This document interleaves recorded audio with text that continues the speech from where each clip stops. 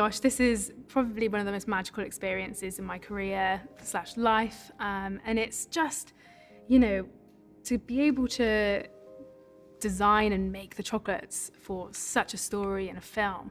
You know, this is the most creative, um, quirky, most extraordinary chocolatier in the entire world. Um, so yeah, for, for me to have this job of creating these chocolates is just a dream come true and such an honour.